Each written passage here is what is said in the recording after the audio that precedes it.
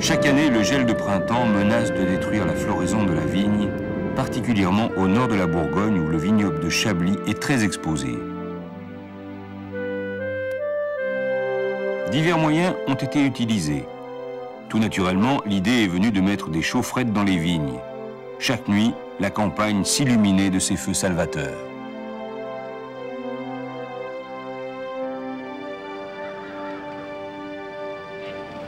Voici un étang. Si vous veniez en été, vous verriez des planches à voile. En hiver, des canards sauvages. Mais son utilité n'est pas celle-là. Son utilité est de faire une réserve d'eau pour une installation de protection contre le gel par aspersion. C'est certainement l'installation la plus importante d'Europe. Elle est destinée à couvrir 140 hectares.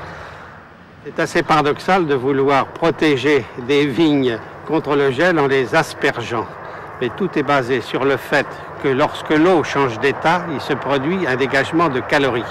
Il faut donc en permanence arroser les vignes de façon à ce qu'en permanence il se forme de la glace et que l'eau change d'état.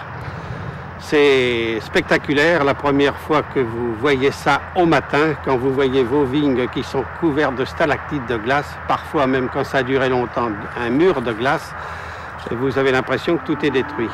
Et pourtant, ça protège.